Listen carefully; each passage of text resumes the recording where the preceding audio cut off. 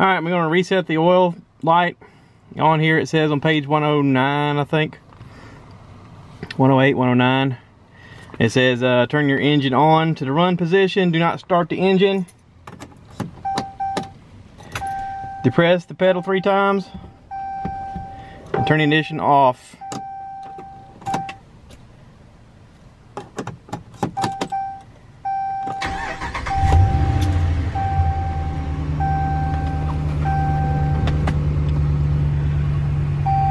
Nope, that didn't work. Try it again.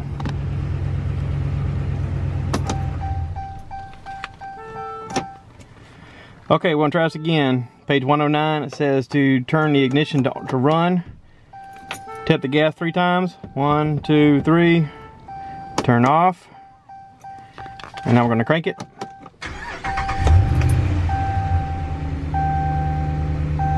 Did that work?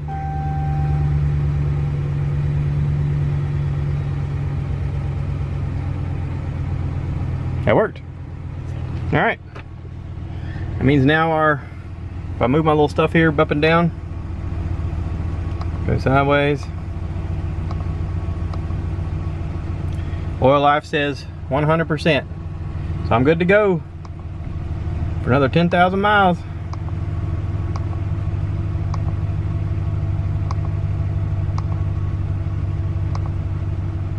How cool is that?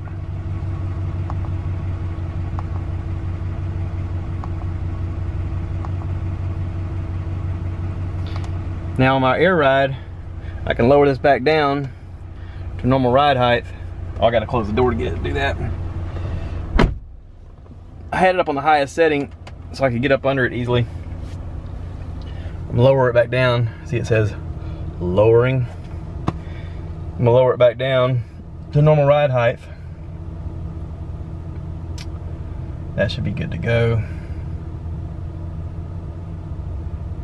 There we go, normal ride height achieved. Cool deal.